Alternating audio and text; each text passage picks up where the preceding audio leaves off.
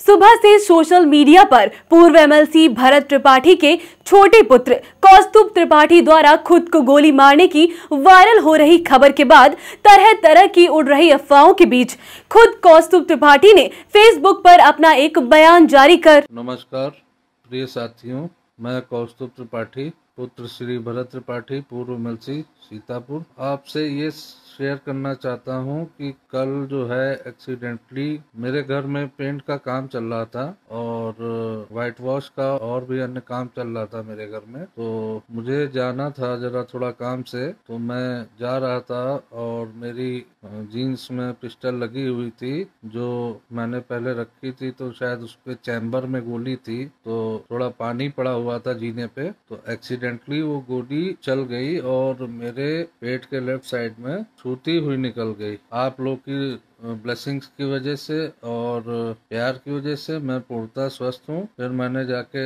जिला अस्पताल में दो इंजेक्शन भी लगे मेरे ड्रेसिंग हुई और ऐसी कोई खास बात नहीं निकली। लेकिन मुझे अभी सुबह मैंने देखा कई न्यूज़ चैनल्स पर ये भ्रामक न्यूज़ फैलाई जा रही है कि पारिवारिक कलह की वजह से कौस्तुभ त्रिपाठी ने खुद को मारी गोली और किसी किसी में तो ये भी दिखाया जा रहा है कि उनकी ट्रामा सेंटर में हालत बहुत नाजुक और किसी में ये भी दिखा रहे हैं कि ट्रामा सेंटर में उनकी मौत हो गई। तो इन सब बातों का मैं खंडन कर रहा हूँ और ऐसा कुछ भी नहीं है। हमारा परिवार पूरा एक था, एक है और हमेशा एक ही रहेगा। और, जो मैं एक मीडिया से भी मतलब रिक्वेस्ट करना चाहूँगा कि पहले बात की सत्यता जान लें उसके बाद कोई न्यूज़ चलाया करें। इससे किसी की भी मतलब स्टेटस पर फ़र्क पड़ सकता है। और आप जैसा कि जानते हैं कि हमारे परिवार में ना ऐसा कुछ है, ना ऐसा कभी होगा। हम सब एक हैं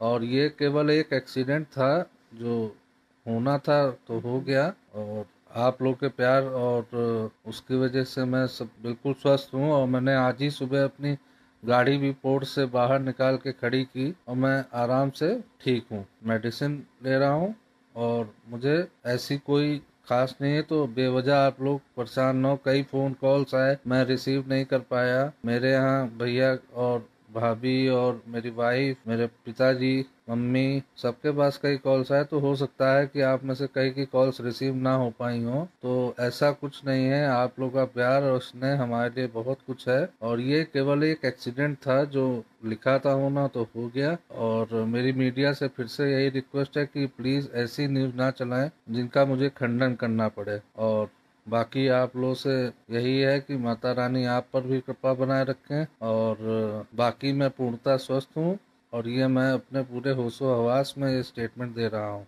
तो आप लोग की ब्लेसिंग्स मेरे साथ हैं, मैं जल्दी स्वस्थ हो जाऊँगा। जो थोड़ा बहुत भी है और आपका छोटा भाई, बड़ा भाई जो भी हूँ, वो इतना कमज़ोर नहीं है जो एक छोटे मोटे एक्सीडेंट से हानि इतनी पहुँच जाए। तरानी की कृपा थी कि गोली कहीं साइड से निकल गई और आगे से मैं ध्यान भी रखूँगा और प्लीज़ अपना प्यार बनाए रखिए। थैंक यू गोली कैसे लगी इसकी सच्चाई बताई।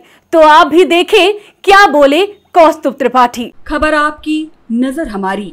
देखते रहिए आई इंडिया।